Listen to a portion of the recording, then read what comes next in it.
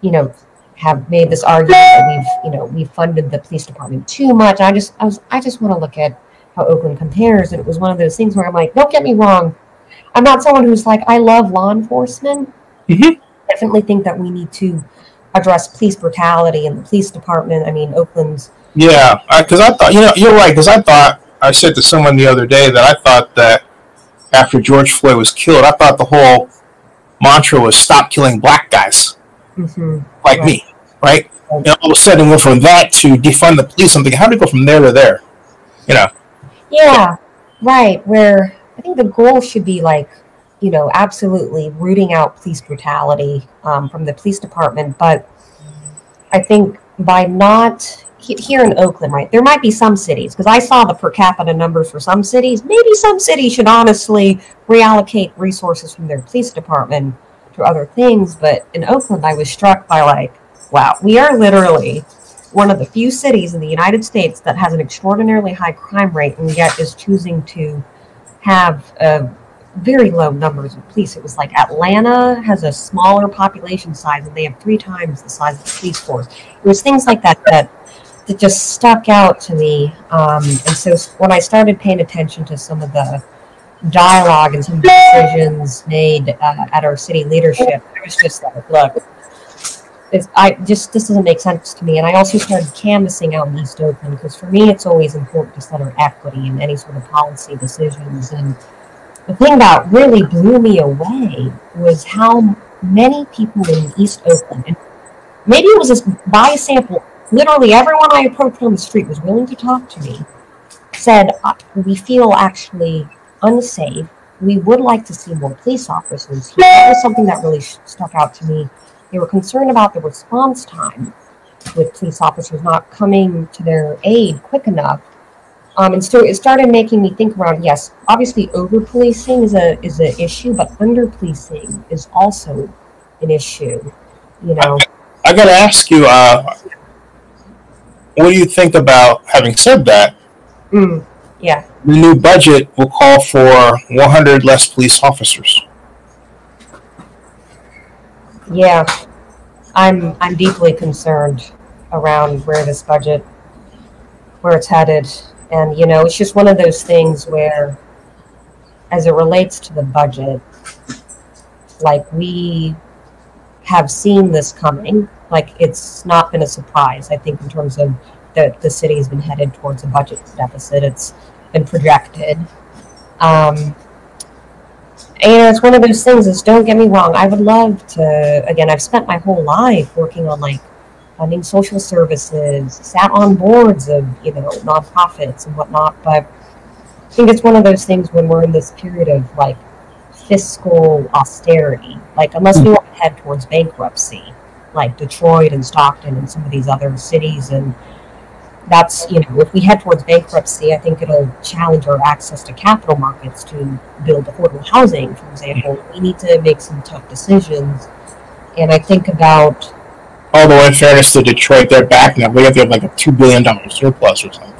oh, okay oh good for good for detroit i'm glad Yeah, I was just in I was just in Detroit for the NFL draft, Hmm. uh, our 20th year straight of covering it, and uh, had lunch with my friend Kofi Bonner, who's CEO of Bedrock, um, Dan Gilbert's real estate outfit, and uh, yeah, they really turned around the city.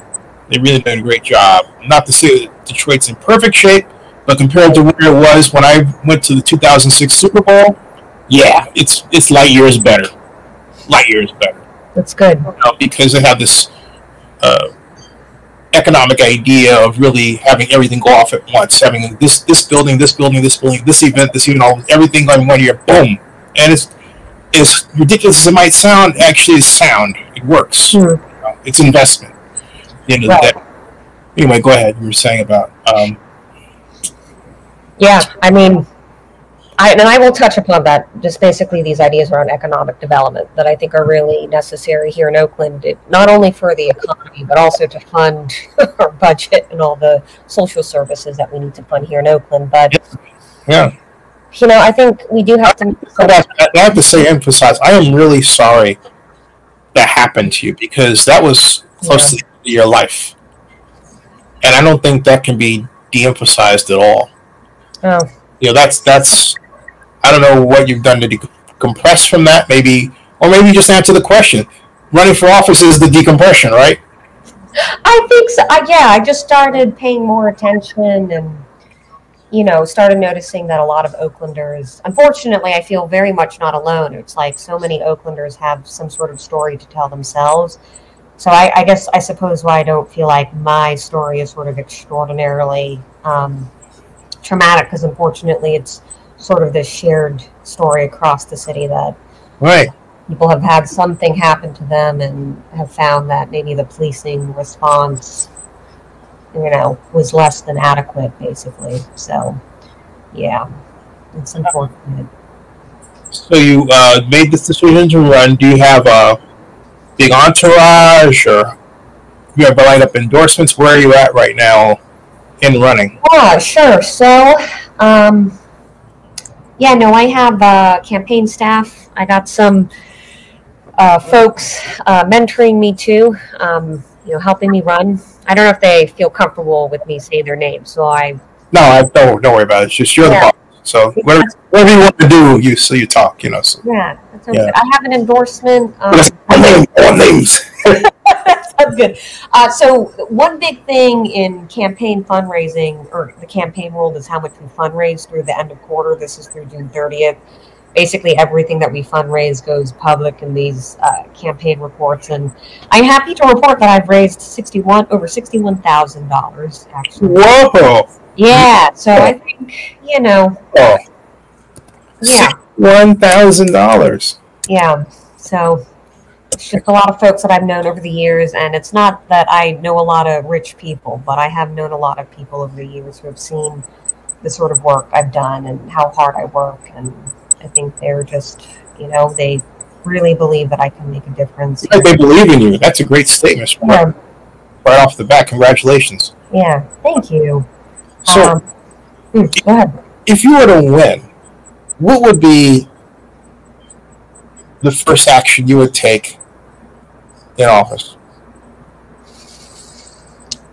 Well, I will answer that. I realized I neglected to mention one thing in the prior question that I want to answer real quick. Sure. I have an endorsement from uh, Pat Kernighan, Oh yeah.